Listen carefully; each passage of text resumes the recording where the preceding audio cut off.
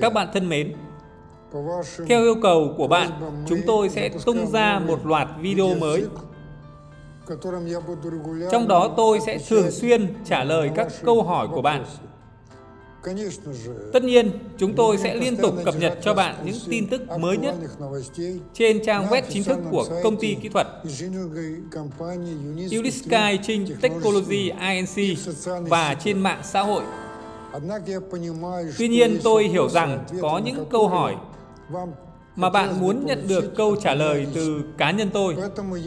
Vì vậy, tôi và nhóm sẽ cố gắng ghi lại và xuất bản những video như vậy một cách thường xuyên.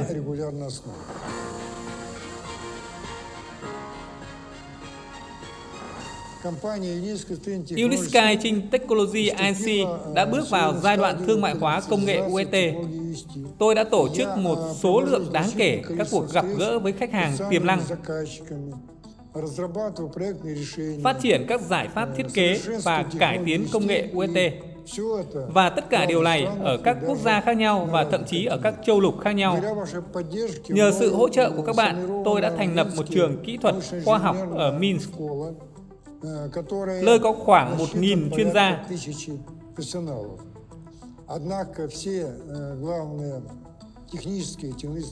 Nhưng tất cả các giải pháp kỹ thuật và công nghệ chính vẫn do cá nhân tôi phát triển.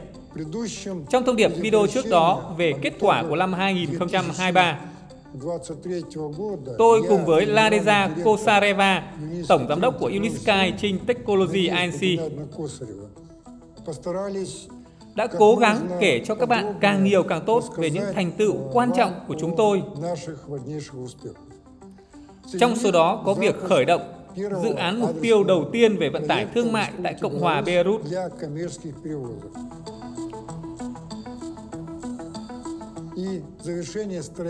Và hoàn thành việc xây dựng khu phức hợp trình diễn và chứng nhận UET với chiều dài hơn 2 km tại các tiểu vương quốc Ả Rập Thống Nhất, với kỳ hạn mới là dòng sản phẩm U-Portel, U-Bird Karat 25 chỗ ngồi, là thành phần chính của nó.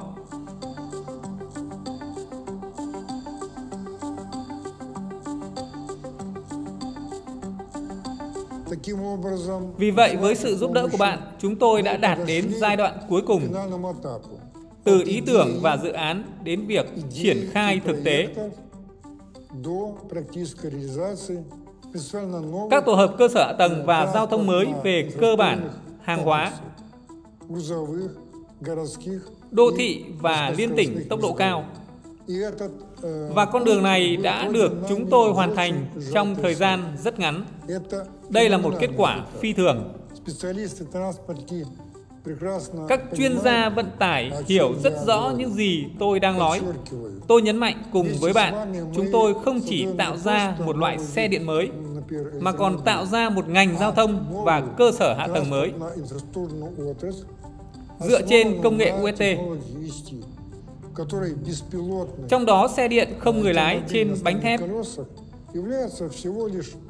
chỉ là một thứ nhỏ và không phải là quan trọng nhất. Thành phần của tập hợp hàng hóa và hành khách bằng cách kết hợp các giải pháp kỹ thuật hiệu quả và thân thiện với môi trường, chúng tôi cố gắng tạo ra hệ thống vận tải và hậu cần tốt nhất thế giới, đảm bảo vận chuyển hàng hóa và hành khách nhanh chóng và thuận tiện. Bây giờ đến câu hỏi đầu tiên.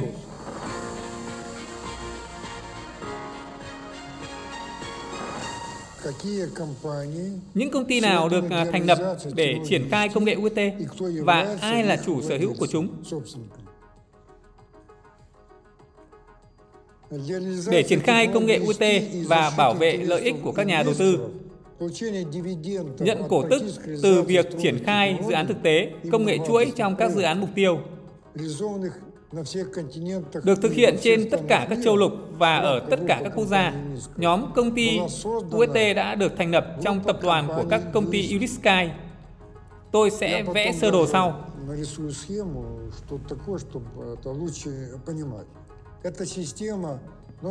Đó là một hệ thống các tổ chức nghiên cứu, kỹ thuật, thiết kế, sản xuất, nắm giữ và tiếp thị.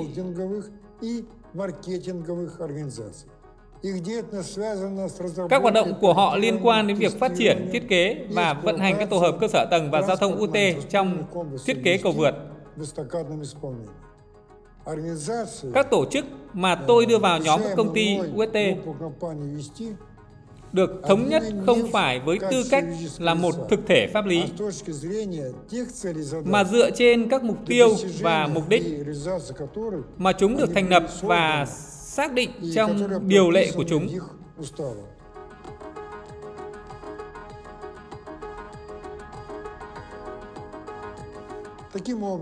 Do đó, nhóm các công ty UT chỉ bao gồm những công ty được thành lập bởi các nhà đầu tư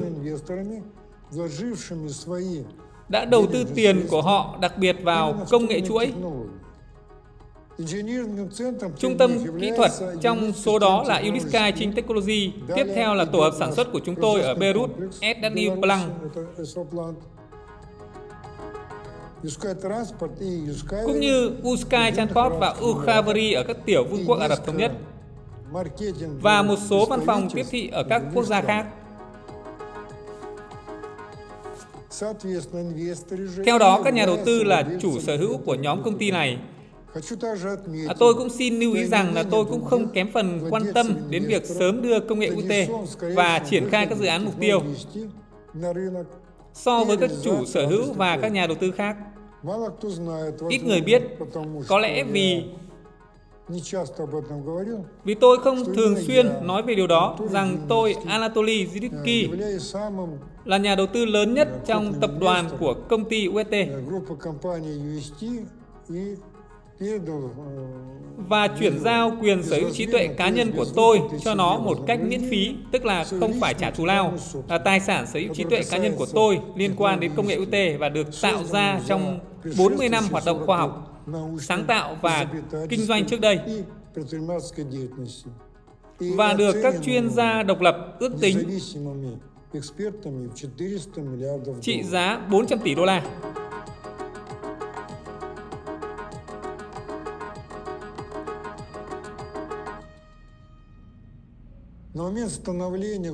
À, vào thời điểm thành lập tập đoàn của các công ty UST, tôi không phải là một kỹ sư vô danh, không có vốn nhưng đã hoạt động tích cực trong các hoạt động thương mại, khoa học và kỹ thuật trong 3 thập kỷ.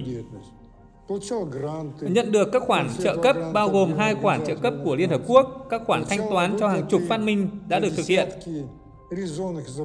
và cũng có những hoạt động kinh doanh thành công. À, ví dụ tôi đã kiếm được 3 triệu đô la đầu tiên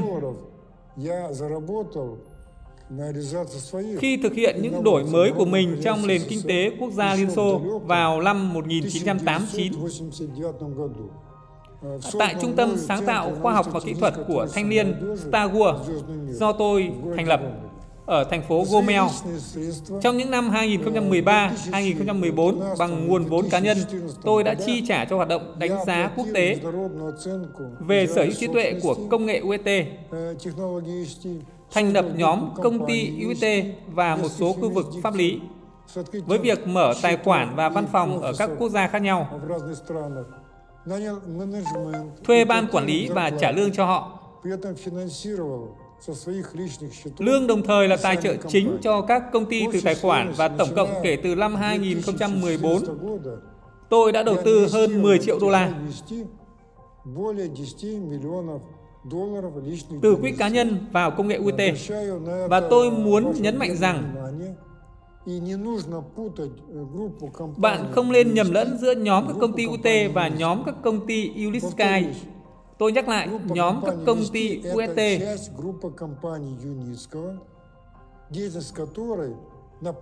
có hoạt động chỉ nhằm mục đích để triển khai và thương mại hóa công nghệ UT, nhưng sự quan tâm của tôi đến việc phát triển dự án với tư cách là một trong những người lãnh đạo. nhà đầu tư lớn nhất đồng thời là tác giả của công nghệ UT không phải là điều duy nhất mà tôi dành thời gian của mình. À, tuy nhiên, đây là điều chính mà tôi gắn liền với không gian công cộng. Kết quả là có sự nhầm lẫn giữa các khái niệm là tôi lao vào lĩnh vực kinh doanh vào năm à, xa xôi 1988.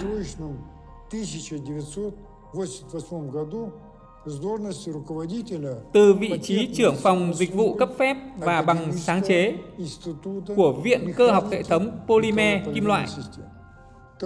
Vào thời điểm đó, hơn 20 phát minh của tôi đã được đưa vào nền kinh tế quốc dân của Liên Xô với tổng hiệu quả kinh tế hơn 100 triệu rúp Liên Xô. Lúc đó mạnh hơn đồng đô la.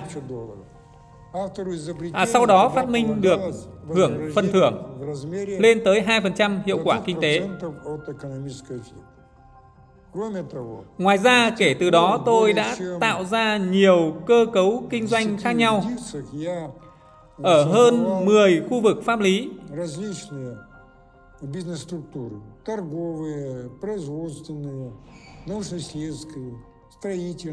Thương mại, công nghiệp, nghiên cứu, xây dựng từ thăm dò không gian phi tên lửa đến canh tác hữu cơ. Tổng cộng có hơn 100 công ty Hầu hết trong số họ đã không còn tồn tại và bị tôi đóng cửa từ lâu vì lý do này hay lý do khác. Nhưng một số trong số họ vẫn tồn tại và vẫn hoạt động và mang lại lợi nhuận cho tôi vì tôi là người sáng lập của họ. À, các công ty này cũng thuộc tập đoàn của các công ty Ulisky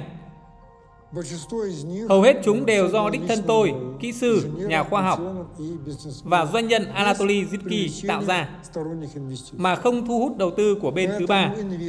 Vì vậy thì các nhà đầu tư đầu tư vào công nghệ UST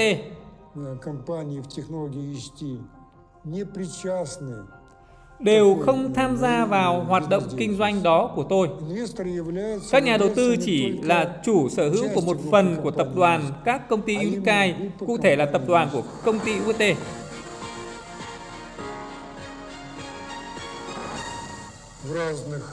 Trở lại thời Xô Viết, tôi đã thành lập công ty ở nhiều nơi và thành phố khác nhau. В общей сложности Ну, за все эти годы, ну, я, наверное, потом... Э, Sau đó là Liên Xô sụp đổ. Và công việc ở đó thậm chí còn bắt đầu tích cực hơn.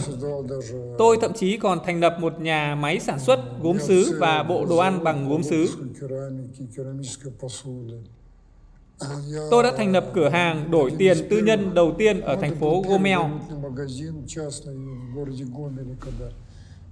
Vào đầu những năm 90 của thế kỷ trước, tôi thậm chí còn thành lập Viện Phát minh Xã hội ở Moscow và một nhóm các công ty thực hiện vận tải đường dây.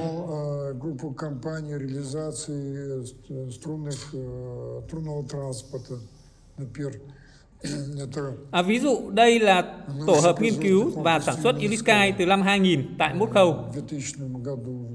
Và một nhóm các công ty triển khai công nghệ tại Oira thuộc khu vực Moscow.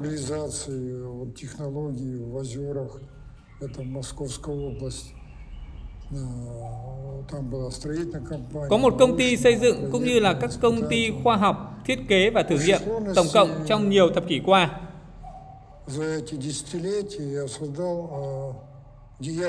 Tôi đã thành lập hơn 100 công ty và ở mọi nơi. À, tất nhiên điều này là nhóm các công ty Unisky bởi vì tất cả đều được tạo ra cho ý tưởng và công nghệ của tôi. Nhưng sau đó khi tôi nhận ra rằng mình không thể tự mình tài trợ cho công nghệ chuỗi, thì quyết định đã được đưa ra было, было принято решение этого группа компаний. Đây là tập đoàn các công ty Unisky. Và đó là lúc tôi quay sang nói với mọi người rằng có công nghệ которая ну, создаст с вашей помощью, с помощью инвесторов мы создадим Và với sự giúp đỡ của họ và chúng ta sẽ tạo ra một doanh nghiệp lớn nhất trong lịch sử nhân loại, điều mà Boeing, Henry Ford, Stephenson, Sikorsky đã cùng làm.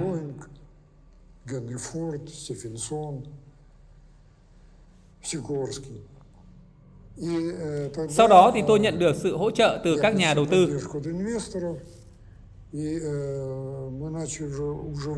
Và chúng tôi đã bắt đầu cùng với các nhà đầu tư thành lập các công ty.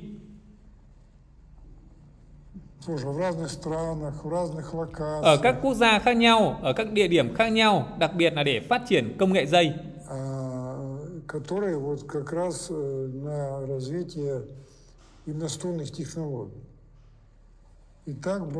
Và đây là cách nhóm các công ty UST được thành lập. Bên trong nhóm các công ty Ulisky, vì vậy đây là tập đoàn các công ty UST.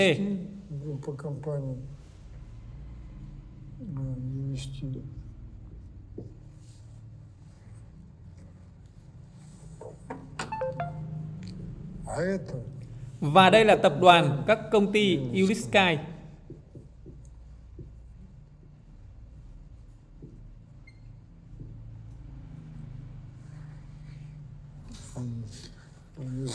Trong sơ đồ này, rõ ràng đây là những thứ khác nhau. Và đó là công ty nào?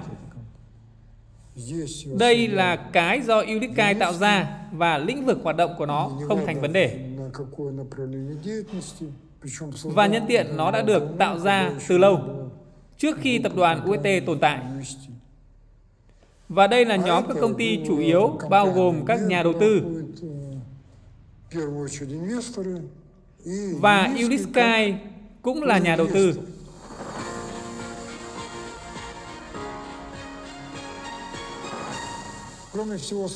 Ngoài tất cả những gì đã nói, cũng cần nhắc lại rằng có những tổ chức không liên quan đến tập đoàn của các công ty Unicai cũng như là tập đoàn của các công ty UST. Họ là những nền tảng đầu tư cộng đồng, hoạt động như một trung gian đủ điều kiện giữa các nhà đầu tư và công ty mẹ. Nói cách khác, mục đích hoạt động của họ là cung cấp cho các nhà đầu tư dịch vụ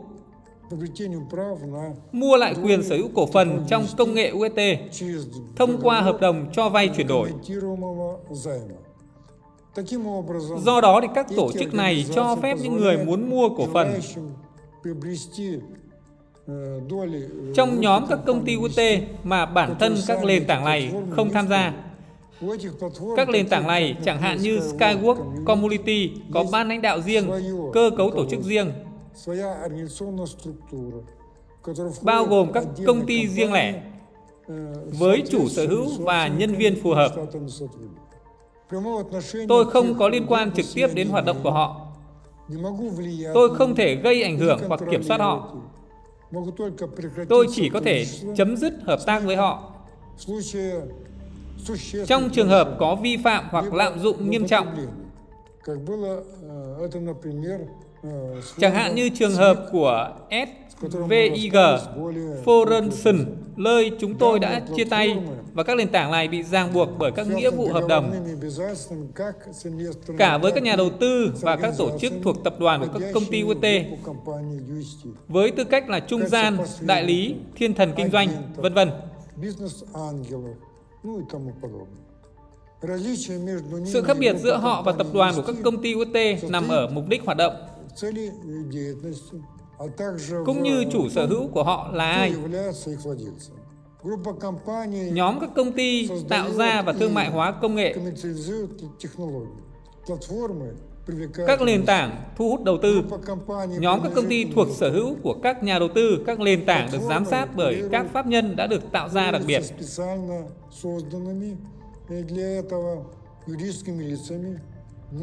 Không thuộc sở hữu của các nhà đầu tư, mà chỉ cung cấp cho họ các dịch vụ liên quan. Ví dụ giống như một sàn giao dịch, nó cho phép bạn mua cổ phiếu của nhiều công ty khác nhau, mà không phải là một phần của chính các công ty này. Còn nhà máy ở Beirut thì sao?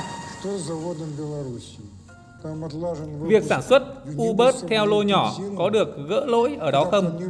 Khi nào việc sản xuất hàng loạt được lên kế hoạch? Điều gì còn thiếu trong quá trình sản xuất để ra mắt hàng loạt? Trước hết, tôi à, muốn nhắc bạn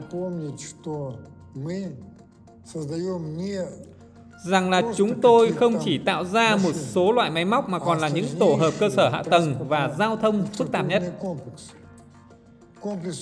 Tổ hợp UET bao gồm cầu vượt đường sắt vận tải, công tắc cơ sở tầng cấp 2 trên mặt đất, nhà ga, nhà ga xe lửa, kho và các công trình khác, hệ thống điều khiển tự động, và cuối cùng là đầu máy toa xe, hàng tá, mô hình, nắp đặt và treo. Hành khách và chở hàng, xe điện không người lái, bánh thép. Gọi chung là U-Pod. Các U-Pod chở hàng và hành khách.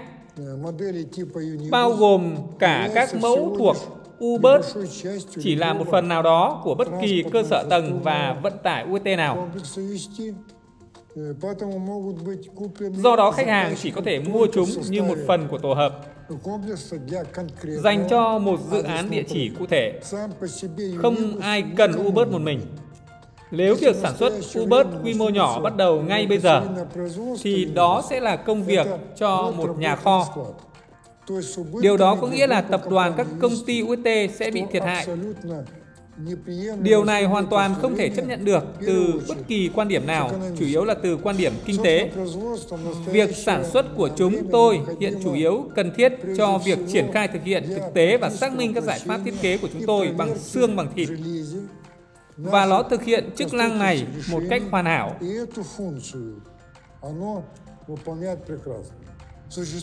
Nhà máy hiện tại ở nhà máy SV Beirut được trang bị mọi thứ cần thiết bao gồm cả bãi máy hiện đại nhất để sản xuất U-Pod quy mô nhỏ với số lượng lên tới 100 chiếc mỗi năm.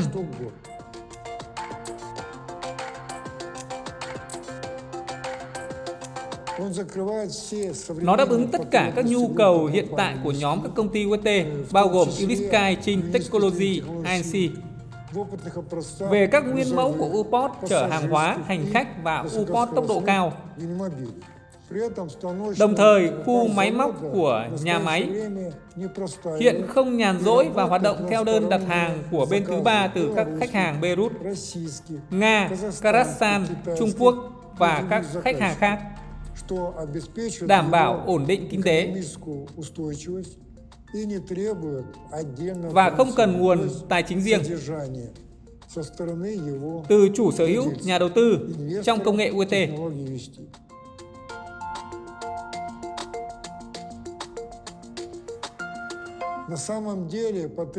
Trên thực tế, nhu cầu sản xuất UPOS sẽ chỉ phát sinh khi nguồn cung đầu máy toa xe à, cho các dự án mục tiêu bắt đầu. Ví dụ, À, nếu nhu cầu về đầu máy toa xe đường sắt tăng lên hàng trăm hàng nghìn chiếc mỗi năm.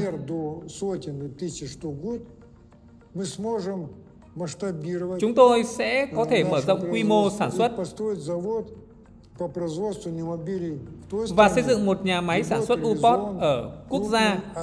Lơi sẽ thực hiện một dự án mục tiêu lớn, lơi nó sẽ mang lại lợi nhuận cho chúng tôi và không phải vì số tiền bổ sung của các nhà đầu tư của chúng tôi mà là sự tổn thất của khách hàng trong tương lai. Việc giao đầu máy toa xe quy mô đơn lẻ và quy mô nhỏ cũng có thể được thực hiện từ Beirut cả hiện tại và trong tương lai với số lượng lên tới 100 UPOT mỗi năm.